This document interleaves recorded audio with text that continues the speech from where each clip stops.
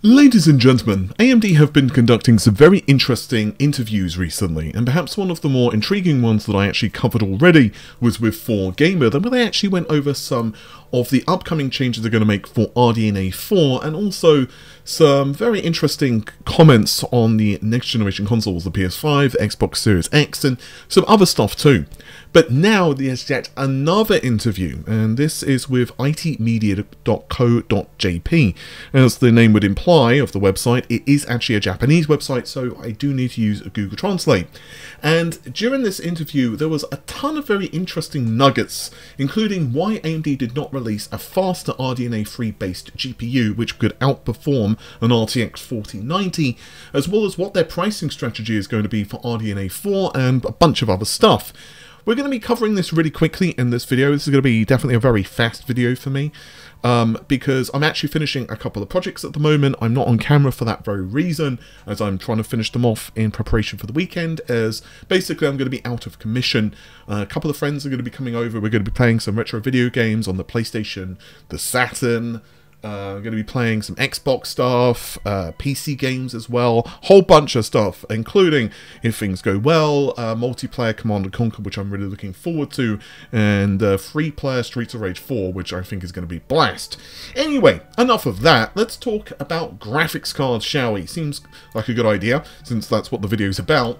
So let's start things out with some comments from Rick Bergman. This is regarding RDNA 3 and why they did not release a more powerful GPU. So basically, as you know, the 7900 XTX was targeting under a thousand US dollars. Um, and obviously the 7900 XT was targeting even cheaper. But what they didn't want to do is essentially to release a graphics card which would have been even higher end, which would cost more money and consume more power. They basically were very mindful of power consumption. There were a lot of rumours early on when we are hearing about Lovelace that the 4090 would go up to 600 watts. Now, I personally am very skeptical that it would ever launch at that. I think that those were engineering boards from what sources have told me. But who knows? It doesn't really matter anyway because 450 watts is hardly sipping the juice, is it? It's still a lot of cons power consumption. Now, Interestingly, a couple of sources have actually told me since the launch of N31 that it was never actually intended to be the highest end SKU. Very early on, very early, before, you know, there was ever designs finalized, 120 compute units was talked about internally by AMD, but they scrapped it. The reason they scrapped it is apparently exactly the same thing, uh, same reason that they're talking about here. Basically, it would have cost too much money. They didn't think it was worth it, and a bunch of other stuff as well. Now, to my understanding, I still think that N31 did not hit the targets that it was supposed to, basically in terms of clock speed and other things. But none of that really matters, of course, because the products are what they are. Um, and it's going to be more interesting to me anyway to see what happens on the mid-range N32 and N33 because let's face it, a thousand bucks is still bloody expensive, right? Like it's a lot of money. A thousand US dollars is, well, it, it's a crap ton of cash, you know. So I think two, three, four hundred US dollars is going to be a lot more interesting to a lot more people. I think also not an Apple fan has mentioned to me in private a couple of times that heard 120 compute units. I'm not 100% on that. I think he did. Um, but uh, I believe that was on Discord. He told me that. I could be wrong. But either way, um, what I do know is that, yeah, 120 compute units, a couple of my sources have told me, was actually considered, but I was very skeptical whether it was true or not because you know how it is. You hear so many different whispers, and it's like, uh, it's really hard to know. And obviously, because there was no actual SKU with specifications, it, you just don't know whether it's true or not. But another set of very interesting comments actually were made from David Wang. Um, this is a little bit later in on in the interview. Jesus, I can't speak today. For the foreseeable future, he says, regarding RDNA uh, 4, we plan to make subtle improvements to the current ray tracing pipeline. Updates from 2, RDNA 2 to 3, with things like hardware processing of ray flags, sorting of BVH or bounded volume hierarchy, hardware reading of discarding unnecessary textures, yada yada yada. This improves performance of ray tracing by around 60%.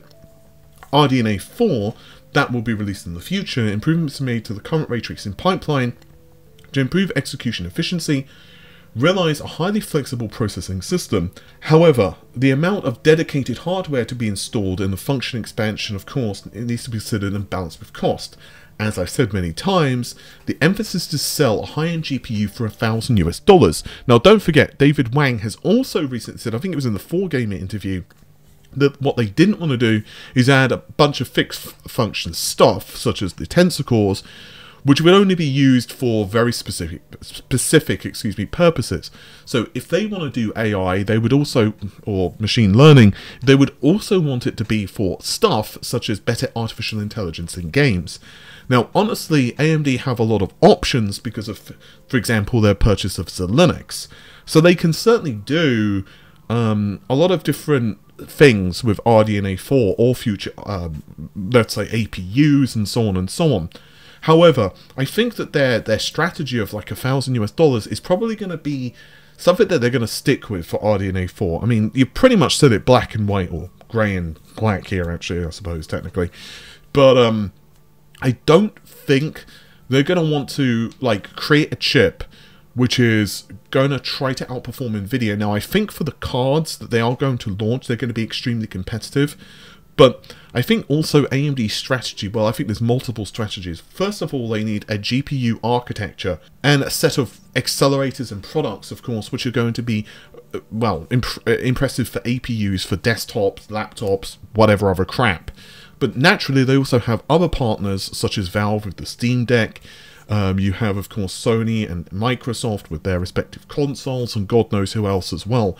So those products need to be very customizable, very power efficient, and they also need products which, of course, you well when you have like a let's say a console, die size is extremely important. Even if let's say the PS6 hypothetically was to utilize MCM, they still can't have a bunch of space on a die which is not going to do too much. So I think AMD doing this and kind of, you know, going that, this route is going to be very interesting. From my understanding, and I've already made a couple of videos with RDNA 4, the performance is actually pretty impressive. They're doing up to two times performance target, I think, for RDNA 4. However, that might be FP performance, floating point performance, not actual, you know, frame rate goes brr performance. But who knows, honestly. You know, the, the rumor mill is a rumor mill, and also whether they hit those targets is also something that's very interesting. However, it's a pretty much a, a really big ground up design. Um, you of course still have the Infinity Cache as you would expect, and it's still chiplet based, but the GCDs, as I mentioned in a previous video, are basically being split, and now you have GCXs. So essentially, a bunch of GCXs can come together to form a greater whole, so you could have like one, two, three GCXs, and uh, basically they would form a GCD. And it does look very impressive. It's just a lot of complexity. I suppose that's the word I'm looking for. It just seems like it could be quite complex. It's going to be very interesting to see how this turns out, especially versus RTX 50. Um, I've already leaked, of course, just very recently, the roadmap from uh, Intel, and uh, what they're doing with uh, Battlemage, which is allegedly going to be around RTX 4080 performance.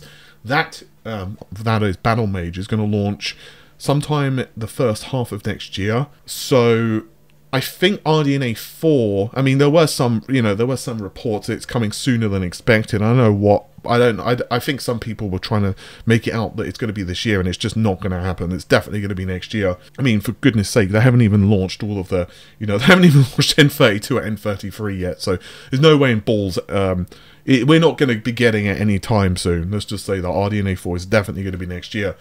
Um, and obviously, as well, it's quite a lot of work to get these architectures ready. It's going to be very interesting, though, to see what happens.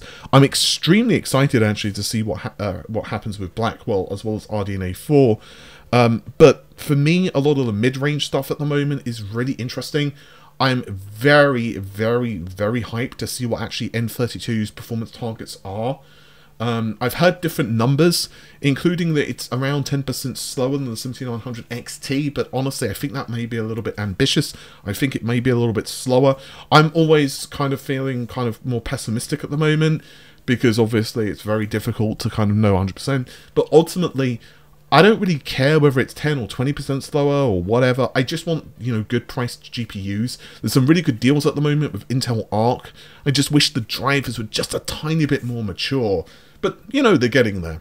With that said, guys, this video is already getting a little longer than I anticipated, so I'm going to let you all go. Take care of yourselves. Bye for now.